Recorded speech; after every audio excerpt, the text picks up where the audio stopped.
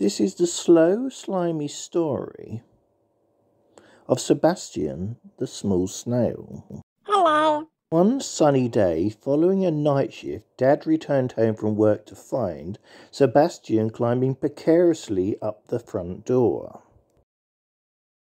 Rushing indoors, Dad found an old one pence coin. And returning outside, placed the coin gently next to Sebastian the small snail. Dad used the coin to demonstrate the small size of Sebastian the small snail. Excitedly, Dad went in the house and began uploading the Sebastian the small snail snaps to social media.